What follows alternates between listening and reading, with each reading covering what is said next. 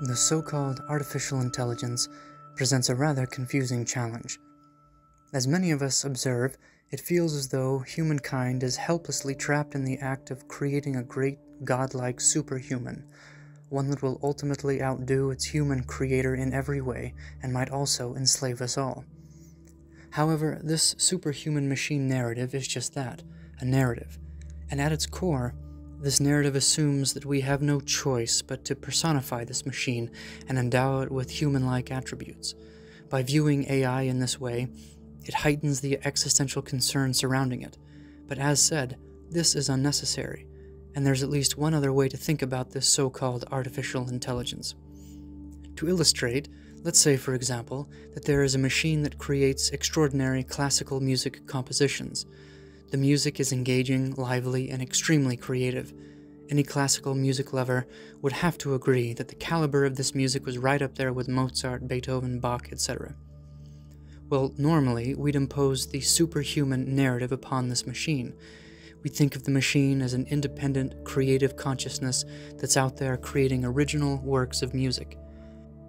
But the other narrative that you can impose upon this music making machine is what might be called the designer narrative. In the designer narrative, you don't personify the machine. Instead, you direct the focus to the people who created or designed the music making machine. And it's these expert designers who are truly responsible for the originality of the music.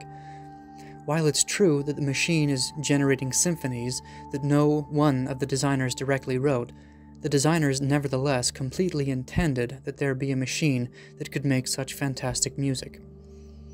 The designer narrative would apply whether we're describing a narrow AI, which would specialize in a specific human task, as well as a general AI that can do virtually all human tasks. In all cases, the brilliance of the machine, even a machine that makes music, is the ultimate fulfillment of the human's intention. From a cultural vantage point, I believe it's not only imperative to our general well being that we avoid terminology that might severely damn us down the road.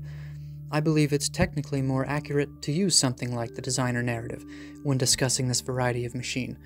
Because really, what we now call artificial intelligence is a dynamic repository of the ingenious computer codes that have been designed into the machine by the countless teams of brilliant, creative computer coding people.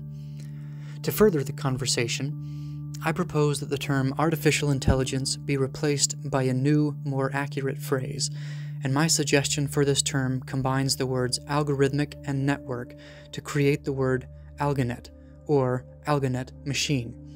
And crucially, instead of one saying, this music was written by AI, one would stretch out the observation and say, these designers have created an algonet machine that writes extraordinary music.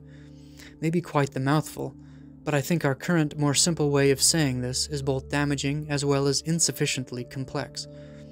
A term like this would alleviate this extraordinary machine from its awkward intelligence connotation and instead offer a broader insight about how the machine's designers have brought this impressive network of tools into being. Thank you.